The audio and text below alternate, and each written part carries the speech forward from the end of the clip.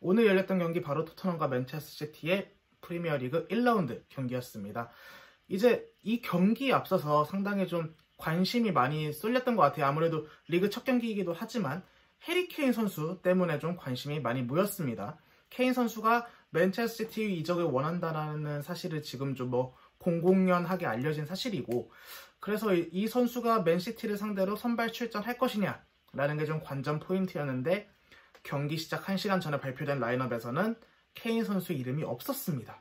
이제 현장에 저희 송재준 에디터가 취재를 가 있었는데 라인업이 딱 나오자마자 케인 선수의 이름이 없는 걸 본 영국 기자들이 그 경, 기자석에 있었던 급하게 기사를 쓰는 모습이었다고 해요. 케인 선수가 왜 빠졌나 라면서 케인 선수는 아무래도 뭐 토트넘 뭐 스타이고 뭐 잉글랜드 최고의 공격수니까 케인 선수가 맨시티를 상대로 빠진 것은 뭐 토트넘 입장에서는 상당히 큰 전력 손실이고 뭐 그리고 좀 나름 중요한 포, 이적에 있어서도 좀 중요한 포인트였던 것 같은데 이렇게 케인 선수에게 이목이 쏠린 사이 바로 이 선수가 이날 경기의 승부사 해결사로 등극했습니다. 바로 손흥민 선수였습니다. 손흥민 선수 케인 선수를 대신해서 원톱으로 대신 나왔고요. 이선에 모우라, 알리, 베르바인이 서는 형태였습니다. 이제 뭐 손흥민 선수가 뭐 평소에 뭐 원톱을 뭐 가끔 보기도 했지만 어쨌든 오늘 케인 선수가 없기 때문에 케인 선수의 빈자리도 본인이 잘 해줘야 되는 상황이었는데요.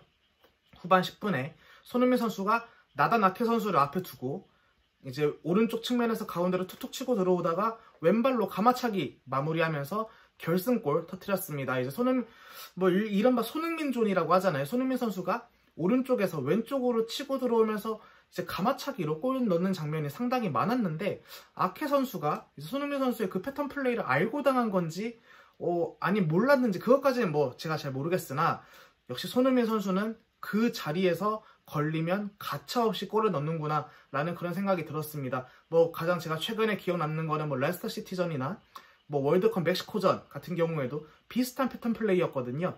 이번에는 뭐 땅볼이었다는 차이점이 있었지만 손흥민 선수의 왼발 슈팅이 에데르슨 골키퍼가 뭐 그 잘한다는 에데르슨 골키퍼가 가만히 서서 지켜볼 수밖에 없는 그런 완벽한 궤적의 골이었습니다. 결국 손흥민 선수의 결승골 지켜낸 토트넘이 이제 맨체스터 시티 이제 대어를 잡고 리그 첫 경기 승리로 장식했고요. 그리고 뭐 토트넘에 새롭게 온 누누 감독도 이번에 자신의 토트넘 데뷔전을 승리로 장식했습니다. 이 토트넘의 이제 누누 감독이 리그 데뷔전 승리를 가져오는 데 있어서 가장 큰 공을 세웠던 선수는 또 당연히 손흥민 선수였던 것 같고요. 손흥민 선수가 예전에 무리뉴 감독 처음 부임했을 때도 1골이도 뭐 맹활약 펼치면서 무리뉴 감독에게 첫승 안겨줬는데 이번에 누누 감독에게도 정말 이제 소중한 승리 안겨주면서 역시 뭐 해결사 아니면 뭐 복덩이라고 불려도 무방할 정도로 좋은 활약 펼쳤던 것 같습니다.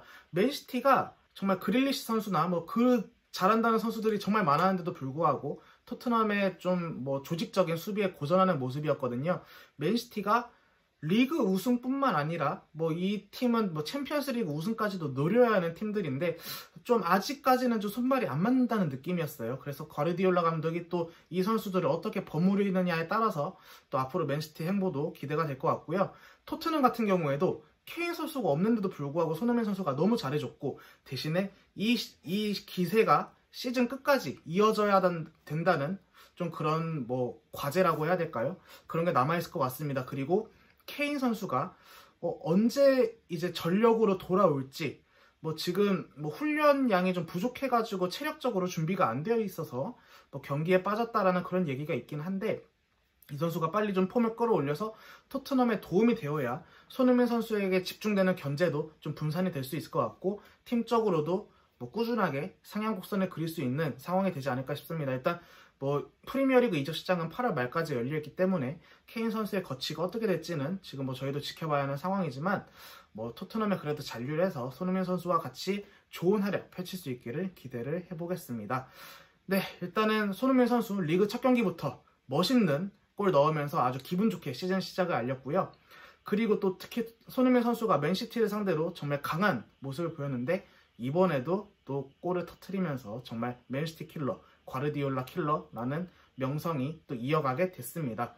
손흥민 선수가 이제 시즌 시작 정말 기분 좋게 시작했는데 또 앞으로 다치지 않고 이번 시즌에도 또 좋은 활약 펼치면서 저희가 또 재밌는 소식, 뭐 좋은 소식 꾸준하게 전해드릴 수 있기를 기대하겠습니다. 네, 저희가 오늘 준비한 여기까지고요. 저희는 또 다음번에 재미있는 소식으로 찾아뵙겠습니다. 감사합니다.